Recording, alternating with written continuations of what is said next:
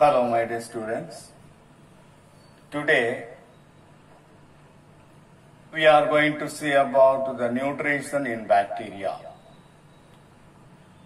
Based on the nutrition, bacteria are classified into two types. One is autotrophic bacteria, another one heterotrophic bacteria. Autotrophs and heterotrophs. Autotrophs are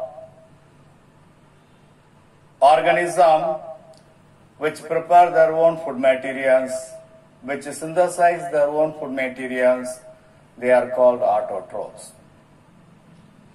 Like other green plants, autotrophs can synthesize their own food materials.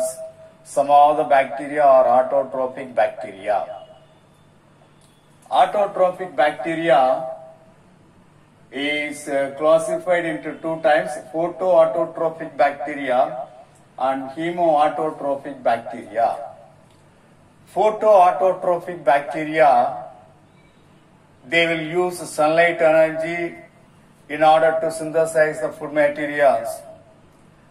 They carry out photosynthesis only in the presence of sunlight.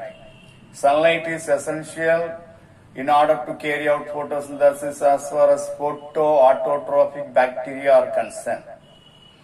Photoautotrophic bacteria is of two types, photolithotrophs and photoorganotrophs.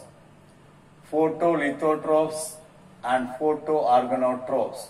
These are all the two types of bacteria, photoautotrophic bacteria is of two types, photolithotrophs and photoorganotrophs. Photolithotrophs, they are autotrophic bacteria, they carry out photosynthesis, they can prepare their own food materials, but here they use organic acid or alcohol